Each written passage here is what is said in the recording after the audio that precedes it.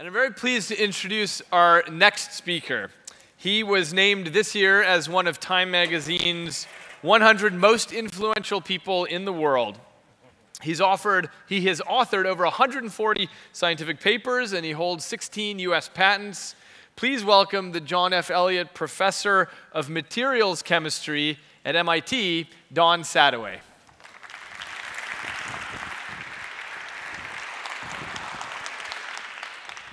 Good morning. You know, the, uh, the electricity grid has been called by the National Academy of Engineering the greatest machine ever built. When you, you look at this image, whoops, I think I wanted the previous one of the, yeah. When you look at this image, you can see that electrification is tantamount to modernity. The dark areas are either uninhabited or impoverished. Remarkable as the grid is, it suffers from one important shortcoming. It lacks on a massive scale the ability to store charge. It's sort of like every time you want to take a shower, it has to be raining right then and there. You know, the electricity that's powering the lights in this theater was generated just moments ago. And, and this inability to store charge leads to consequences. It makes the grid fragile. It's susceptible to blackout, wide fluctuation in price, and we deal with this shortcoming by endowing the grid with a superabundance of generating capacity 30%, 40% more than we need for average demand just to meet that less than 1% of peak. So wasteful. What I want to talk to you about today is a solution to this problem. It's called the liquid metal battery. It's a device I invented at MIT, working with a team of my graduate students and postdocs. But before I dive into the chemistry of the liquid metal battery, let's set the stage. So I'm going to begin with a history lesson. The battery, you may not know, was invented by a professor, Alessandro Volta. With this invention about 200 years ago, he gave birth to a new field of science, electrochemistry, and new technology such as electroplating. Perhaps overlooked by historians is the fact that with this invention, Volta also, for the first time, demonstrated the utility of a professor. Until Volta, no one imagined a professor could ever be of any use. So, when we think about batteries today, I have some general rules that uh, I'd like to share with you. There's no right battery for all applications, it's all about the fit. So, don't pay for attributes you don't need. So, for example, a cell phone needs to be idiot proof because by and large it's in the hands of idiots. the car, car needs to be crash worthy. So, people who say just take a whole bunch of lithium ion batteries out of cell phones and put them in a car, aren't preparing for what we have to be responsible about, what would happen in a major collision. We can endow those batteries with crashworthiness, but it's going to raise the cost. And what about the service temperature? Well, it depends if the battery is going to be in contact with humans. Now, cell phones, laptops, yes, but stationary storage, well, that can be in the basement, it can be off in another building. So you'd think, wow, that would give you much more freedom in chemistry. But the problem there is it's all about cost. And even though I'm a professor, I'm going to talk about cost. So let's talk about some real numbers here. When you buy a replacement battery for your laptop, you're paying probably something like 2,000 to $3,000 a kilowatt hour. That's for the capital cost of the battery. Your cell phone battery, if you replace it, it's about $1,000 a kilowatt hour. Now, if you want to get into all electric vehicles, the threshold price point is $250 a kilowatt hour, and that's pretty high. Imagine you've got a 40 kilowatt hour pack on an all electric, $250 a kilowatt hour, that's $10,000 just for the battery. And if we're going to have an impact on air quality, imported petroleum, we've got to get a car on the showroom floor for $20,000, not $120,000. And you can't put a car on the showroom floor for $20,000 if the battery pack alone is $10,000. So that price has to come way, way down. And when it comes to stationary storage, grid level storage, it's $100 a kilowatt hour. Super, super low price point. And the severity of service conditions increases from top to bottom. Grid level storage, massive currents, long service lifetime, laptop computer, much more forgiving. Yet the price increases from bottom to top. So if you and I start a battery company, we're going to make batteries for toys because that's where the money is. But the societal need is at the bottom. And here's the evidence. This is giving you installed capacity as a function of price. And you can see it's a logarithmic scale on the vertical axis. So every time you go up one line, you go up by a factor of 10. So that red dot is 1,000 times more than the orange dot, which is a 1,000 times more than the bottom of the graph. Two takeaway messages here. Everything to the right of $500 a kilowatt hour doesn't count. It's all just noise. There's only one technology that works. It's pumped hydro. But you know, I was looking out the window last night from my hotel. I don't see any mountains around here. And there are no mountains in downtown Boston, no mountains in Manhattan. So pumped hydro is geographically constrained. That's the polite term. Okay? When it comes to renewables, wind and solar, if they're going to contribute to base load, we have to address their intermittency. We need to be able to draw electricity from the sun even when the sun doesn't shine. And a battery can do that. But even on today's grid, as I mentioned earlier, the Electricity Storage Association defines 17 different values for storage. And it's not just for long term storage, there's all these ancillary services like load leveling, load following, frequency regulation, spinning reserves, non spinning reserves. These all have different functionalities, different time constants, different electrical signatures, but they all need a honking big, cheap battery. And for grid level storage, it's not my battery versus somebody else's battery. What do people do to fill the gap right now? They trot out a gas fired peaking unit, they trot out a diesel fired peaking unit. So it's battery versus combustion. So we need to think differently if we're going to invent against that. You've got an incumbent technology that's very cheap. And by the way, if I haven't told you enough already, I want to make it clear. Today's lithium ion batteries fail badly here. Really bad, not even close. And when we start looking for batteries that can work here, because of the scale, we're talking about tons and tons and tons of material. We have to stay away from certain parts of the periodic table. We have to look at only earth abundant elements because that's the only stuff that's going to be abundant, cheap, and scalable. How cheap? It has to be dirt cheap. And the only way I know how to make something dirt cheap is to make it out of dirt. Preferably American dirt. That way, we've got a secure supply chain. It makes no sense to me to trade dependence on imported petroleum for dependence on imported cobalt. So, how did I come up with this liquid metal battery? Everybody else thinks about conventional batteries and how to make them bigger. And I took my inspiration from outside the field of energy storage. I looked to a device that doesn't store charge, doesn't produce charge, but instead consumes charge, vast quantities of it. I looked at an aluminum smelter. This is what an aluminum smelter looks like. This is row after row of cells drawing huge amounts of current. This is probably 500,000 amperes at 4 volts. This is about 50 feet left to right and recedes about a half a mile. If, you, if your eye's really good, you'll see off to the right in the background there's a human figure standing there. That'll give you a sense of it. And this draws current 24 7 and it converts dirt, aluminum oxide, into liquid aluminum.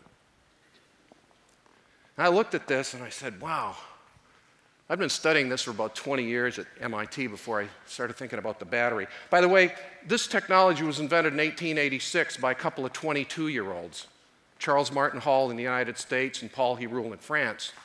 And as a result of this invention, they took something that's a common, that was a precious metal. Aluminum used to sell for more than the price of silver. There's a cap, a pyramid of 100 ounces on the top of the Washington Monument made out of aluminum, because in 1876, aluminum was a precious metal and they turned this into a cheap structural material. So you take bauxite from one corner of the globe, carbon, petroleum, coke, 14 kilowatt hours of electricity, $5,000 a ton capital cost, you make virgin metal for less than 50 cents a pound. This is a modern economic miracle. And I ask, how can I exploit that economy of scale and turn this smelter instead of in an energy sink into an energy storage device and an energy source? And I did. I conceived of the liquid metal battery. Three liquid layers liquid metal on top, molten salt in between, and liquid metal on bottom. And it stores charge because the magnesium wants to react with the antimony, and the only way it can do so is to enter the electrolyte. And the only way it can enter the electrolyte is to send electrons through an external circuit. And the current passing between the electrodes keeps the battery at temperature. It requires no external furnace. We use insulation, of course. And then to charge the battery, you connect a power supply and you refine the magnesium out of the antimony and send it back up to the top. And the magnesium is insoluble in the salt, and the salt is insoluble in the antimony, just like salad oil and vinegar. So these things stratify by density. They don't mix. There's no membranes, there's no separators, there's no solid. And it really works. And I got some seed funding at MIT that allowed me to go forward with this. So this is a cutaway, one of these cells. This is now frozen. Okay. At one point it was molten. There's the magnesium at the top. This is the salt and this is the antimony. And this thing passes current, the magnesium alloys with the bottom electrode, and then we charge it. It goes back up. Well, this is with that seed money, I was able to hire on one student. That's it. That's my team in 2007. That student looks worried. He should be. This thing wasn't working. He wasn't sure it was going to work. I didn't tell him, but I wasn't sure it was going to work. But he wanted a PhD. He's young and he's smart. I you know what mentoring is? You tell him you can do anything. We heard that earlier today. And he did it. Made the first battery. But then in 2009, my luck changed. I got a $4 million grant from Total, French energy company, and then 9 million from the newly formed ARPA-E branch of the Department of Energy. And with $13 million, I expanded my team to 20 people. Multinational task force of students, postdocs, graduate students, all very smart, all very literate in chemistry and electrochemistry, no battery experience.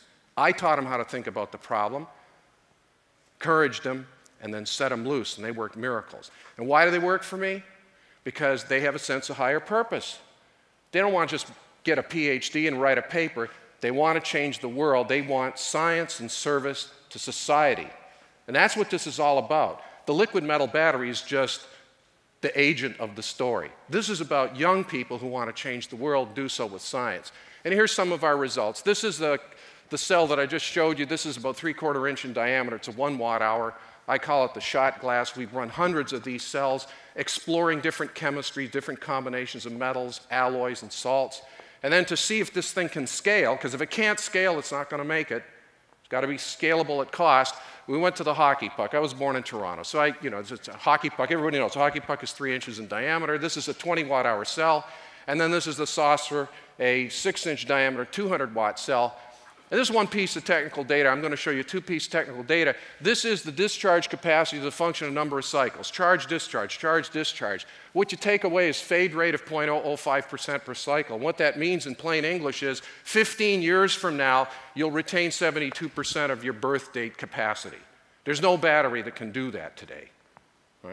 And we can abuse this thing. This is a 1,000 cycles. This battery went a 1,000 cycles of deep discharge. And for 200 cycles, we ran at a current density of 1,000 milliamps per square centimeter. For reference, that's 30% more intense than the current density in a modern aluminum smelter.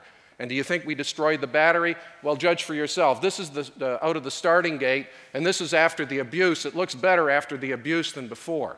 So this battery gets better with age. Don't you wish we could find one of those for ourselves, huh?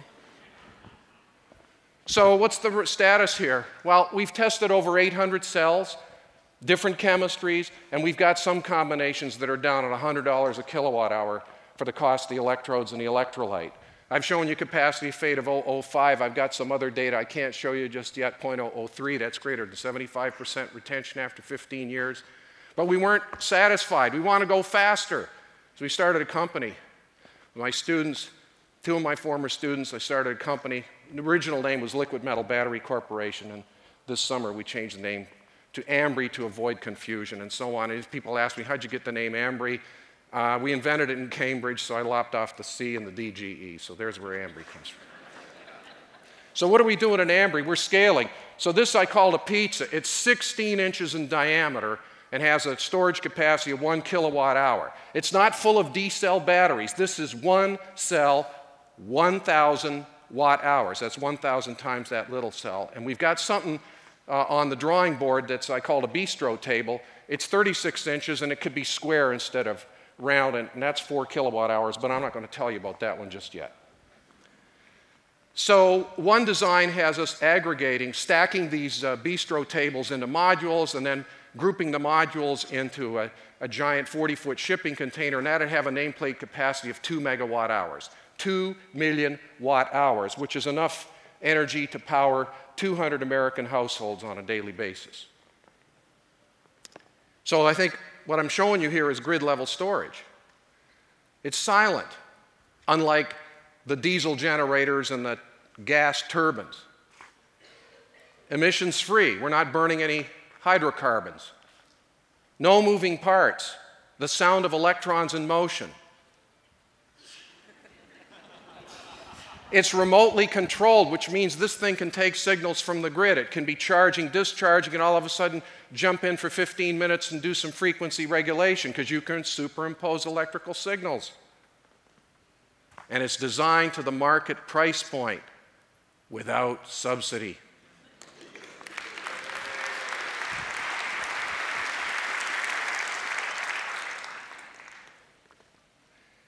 Well, less than two months ago, um, it was actually September the 12th to be precise. It was the 50th anniversary of President Kennedy's speech at Rice University here in Houston, the speech in which he justifies this nation's decision to go to the moon. Now, when viewed as a metaphor, that speech is about much more than space travel. It inspires us to take on great technological challenges like grid level storage at the price point of the electricity market, or uh, electric vehicle batteries that are competitive with internal combustion. My favorite line of the speech, and I'm, I'm going to take some liberties here and paraphrase, and when I look at this image, I say that my students and I choose to work on transformational innovation in electricity storage not because it is easy, but because it is hard. Because that goal will serve to organize and measure the best of our skills and energies. And that challenge is one that we are willing to accept, unwilling to postpone, and one that we intend to win. Now let's finish the job.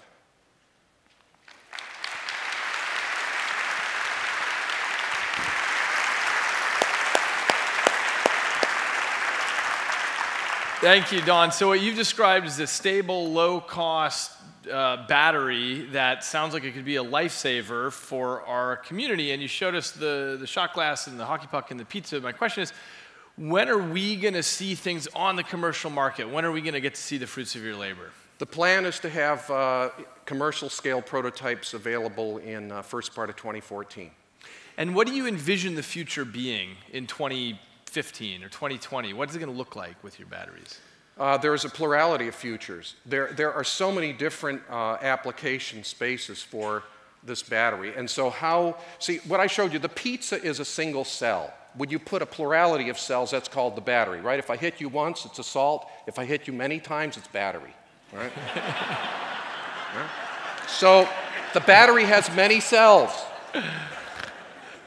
You could actually have a battery of one cell? That's sort of an existential question. But, anyways, so, um, you know, depending on what the application is, you could have things as small as uh, 20 kilowatt hours in the basement of a home. You could have solar panel or a, a wind turbine in your backyard, and you could collect energy. And what you don't use, you sell to the grid. So instead of you pay the power company, you get paid by the power company. So you turn your house into a profit center and sell energy to your neighbors. You could put it in skyscrapers in, in downtown Houston, downtown Manhattan, and draw electricity in the wee hours of the morning when the demand is low. There are some places in the country where we've got abundant generation, but the transmission lines can't get it to the demand centers. So you say, build more transmission lines. You try to get permitted. Huh?